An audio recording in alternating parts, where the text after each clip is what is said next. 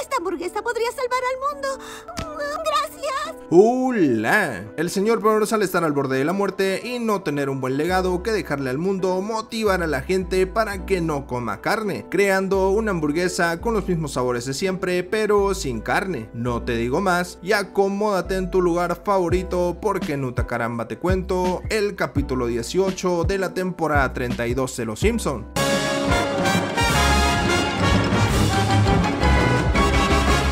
Todo comienza con el señor Burns teniendo un sueño donde él es el más odiado de todo el mundo, y al despertar Smither le entrega su desayuno ligero para empezar su mañana. Voilà, una uva pasa con arrugas alisadas y planchadas y una molécula de azúcar. La uva pasa estaba muy filosa, lo que hace que Burns castigue a su chef personal. Smither suelte a los perros. Como no desayuno nada, el señor Burns está abierto a nuevas posibilidades y cuando huele algo delicioso se encuentra con Homero y su hamburguesa y al quitársela se deshidrata rápidamente.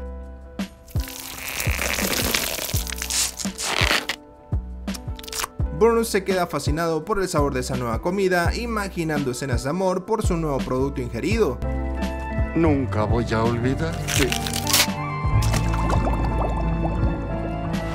Y al saber que se llaman hamburguesas, le hace una pregunta coherente a Homero. ¿Cómo se llaman? Hamburguesas. Está comiendo personas de Hamburgo. No sé, tal vez. En su oficina, el señor Burns se envicia con la comida chatarra y cuando está siendo controlado por Smither, este le dice que estaba al punto límite de su peso ideal, tratando de impedir que su jefe coma otra hamburguesa para que no se complicara su salud.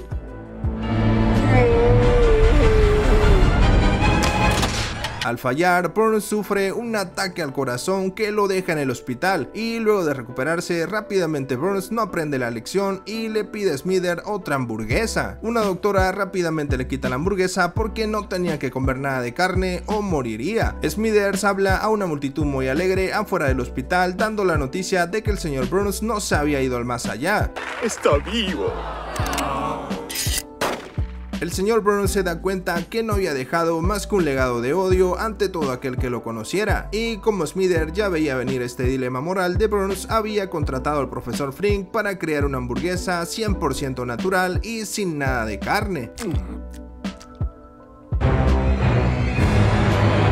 Luego de esa probada, el señor Burns queda convencido con su nuevo producto. Al salir del hospital sabe que su nuevo negocio haría un cambio real y dejaría un legado por el cual sería recordado de buena manera. Ser amado después de morir. Mírame, mundo.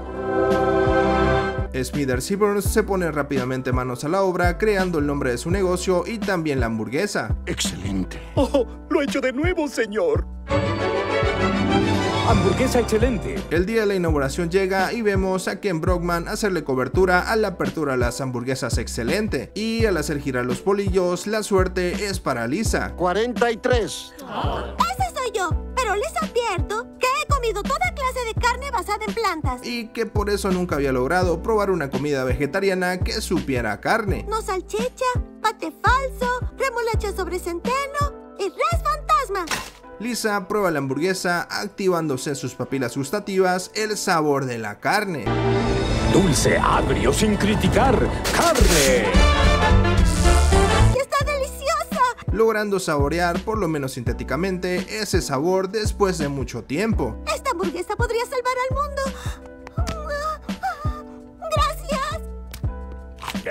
Homero también se les une al abrazo y Bart también lo hace, terminando con Marge quien le dice al señor Burns que ahora, al no tener que cocinar, podría tener tiempo para otras cosas. Por fin le enseñaré a Maggie a hablar. Gracias, gracias. Todos al ver la escena de la familia Simpson abrazando al señor Burns comienzan con aplausos por su gran logro y al señor Burns le vienen recuerdos de su niñez cuando no recibía el aprecio ni la aprobación de su madre. No me gusta el arte que miente. Ah, y por cierto, tu padre está muerto. Mm, Burns sabe que necesita un vocero especial para promocionar su producto y como Homero se ofrece con su tarjeta de vago, rápidamente es contratado. Homero Simpson, vago. Ned Flanders, izquierdario. Iniciando así con los comerciales para las hamburguesas excelente. A Homero se le entregó un contrato donde claramente le daban doble significado a las palabras que podría decir con respecto a la hamburguesa, dejando en claro que no se trataba de algo totalmente vegetariano y bueno para el ecosistema en general. Homero curiosamente sabe que los publicistas hicieron un buen trabajo inventando una frase la cual también imagina literalmente cómo sería. Desearía ser una mosca en la pared. ¡Oh, oh! ¡Mis hijos!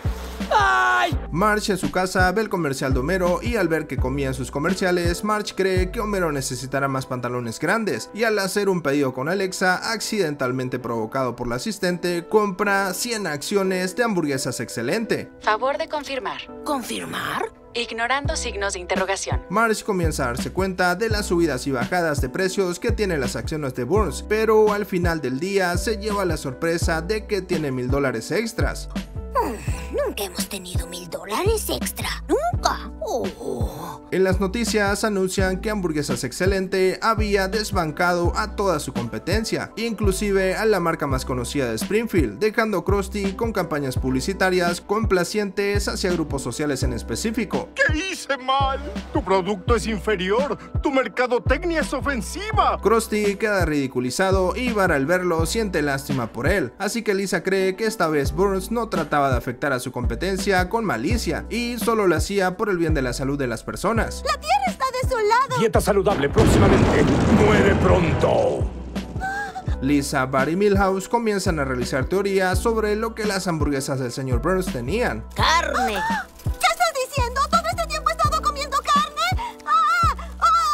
Lisa siente repulsión y le entrega su hamburguesa a Bar, el cual le dice que solo era una teoría y que además solo quería su hamburguesa. Y después de que Bar come su hamburguesa, vemos también unas cuantas referencias a Stranger Things. El grupo de amigos llega a la planta procesadora de plantas y ven que todo estaba bien. Y que sí, todo estaba hecho con plantas.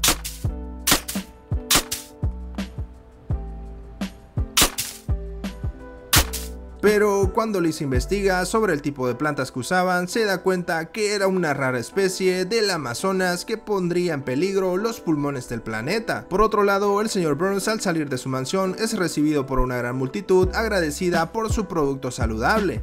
Dispérsenlos ya con balas de goma, ¿entiendes? Y muy contento se siente bien por pertenecer ahora al club de millonarios amados por todo el mundo. Mark Zuckerberg intenta ingresar por la parte trasera del club, pero es echado por mal manejo de información y fotos de sus usuarios. Eran fotos privadas. Claro. Privadas. Por la tarde, el señor Burns es visitado por Lisa y compañía, quien le quiere explicar sobre lo que estaba pasando en su planta procesadora de carne vegetariana. Ah. Lamento tener que informarle que su intento de hacer el bien Burns no quiere escucharla y aunque Lisa llega antes a su casa que él, sin piedad le suelta a los perros. ¿Estos perros? Seamos claros, jovencita. No voy a escucharte, no lo haré. El señor Burns se deja de juegos porque no quería saber qué era lo malo que estaba sucediendo con su producto estrella. Lisa va donde su mamá para tratar de ser escuchada, pero se da cuenta que su mamá comenzaba a enredarse aún más en el tema de las inversiones en la bolsa, lo que por alguna razón no le gustaba a Lisa. Por último, Lisa va donde Homero, quien tampoco puede ayudarla ya que tenía bien aprendida una lección de vida. No muerdas la huesuda y marchita garra que te alimenta. Aunque Lisa le explica lo malo que sería para el Amazonas, Homero no quiere ayudarla. No lo haré. No sé cómo puedes dormir. Yo duermo bien, jovencita. Esa misma noche, Homero tiene una pesadilla con los logotipos de cada empresa de comida chatarra.